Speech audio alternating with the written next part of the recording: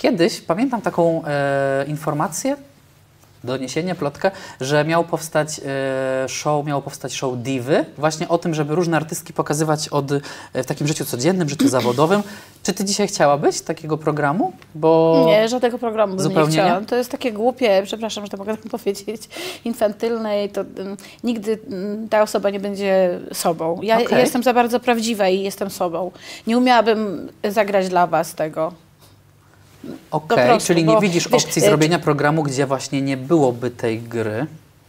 Wiesz, ja, ja jestem bardzo żywiołową osobą, jeśli Dobra. coś robię. Poświęcam się stu procentach.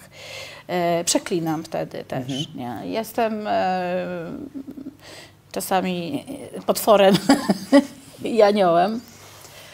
E, i tak, i ja, wiesz, ja nie zrobię dla potrzeb telewizji czy producenta, który to robi, e, jakiejś innej siebie. To Tak. Nigdy nie będę taką osobą, e, jaka im pasuje do programu. No to, jest, to nie jestem ja. Ja wiem, że na mnie są skierowane te Tak, tak.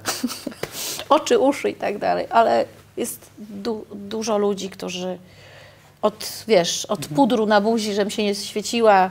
A mnie to Każdy jest naprawdę, jak wychodzę, efekt. żebyście wiedzieli, że dla mnie to jest obojętne.